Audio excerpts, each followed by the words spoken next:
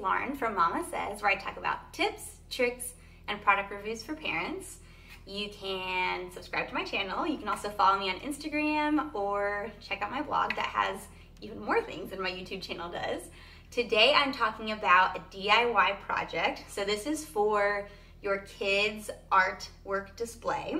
Um, so we have a playroom now in our new house and we have like this big empty wall and I thought it'd be really fun to do um, a kid's artwork display there, even though my son is, he's 18 months old, so unless you count like little chalkboard scribbles as art, he's not quite there yet, but again, this big blank space is just waiting to be filled, and I figure he will be making art one day soon, so I might as well go ahead and get a jump start on that. So I went ahead and made them, and I'm gonna show you how to make them today. So what this is, is you have a an old frame, you paint it, you put a wire through with little baby clothespins, and you hang up your art.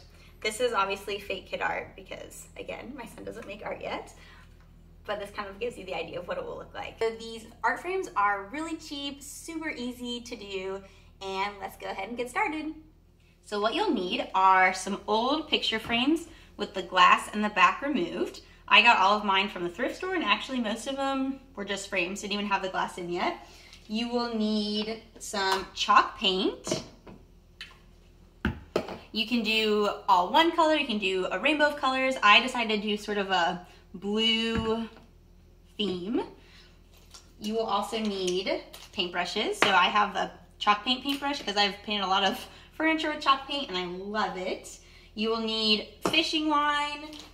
These little, they're called um, eye screws. You'll need mini clothespins a hammer, a ruler, a pencil, and scissors. And now it's time to paint.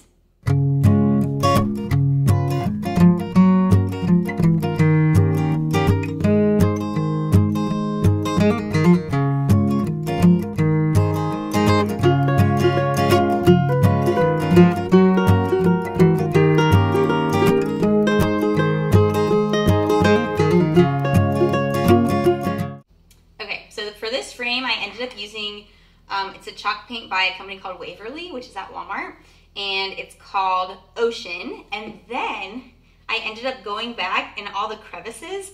I added some antique wax stain and just kind of put it on and then would rub it with a, um, a paper towel to just kind of make it, give it a more faded look. And I feel like it helped to add a little more dimension to it. Totally optional, I just kind of like that look. So now that the frame is painted, it is time to put the little eye screws in and then string up the clothespins. Okay, so I'm gonna be doing a whole gallery wall of these little art picture frames. And so it's kind of a good idea beforehand to kind of lay out what you want it to look like so you know if you're gonna be doing, um, oh my goodness, horizontal or vertical. So this one is gonna be up and down like this. So first I'm going to measure so I know exactly where I'm gonna put the eye screws. And I'm doing, I'm gonna do one inch. Got it?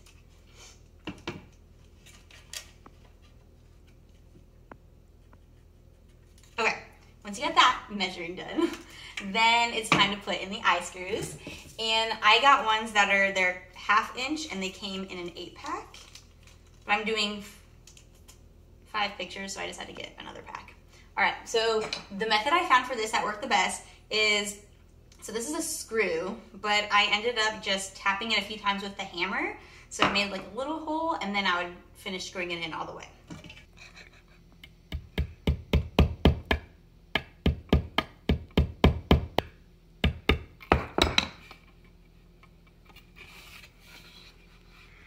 All right, then you just finish it up. Okay, so now that I have both of the eye screws in, it's time to cut the fishing line wire. And I don't, I don't worry too much about how big it is because I'll just trim it later. Okay, so what you do is you have your fishing line and then, where did I put them?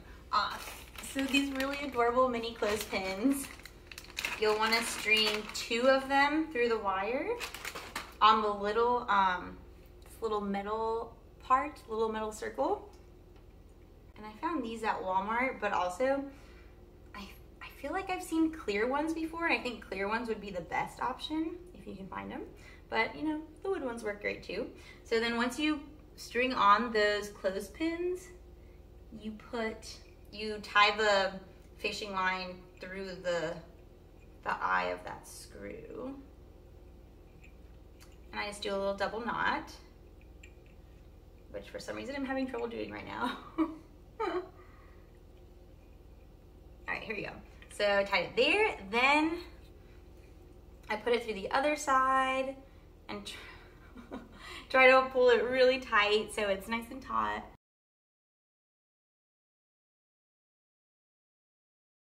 All right, so then I tie this other, the last end, and then I cut off the excess wire.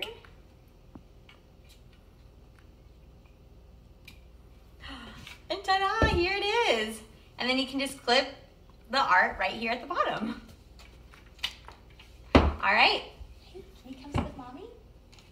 Thank you so much for watching. I hope this project goes well for you. Um, if you have any questions, put them in the comments below. I also listed all the supplies that you need and kind of a shortened um, version of the instructions down there. Again, don't forget to subscribe, follow me on Instagram and all of that. All right, happy crafting. Bye.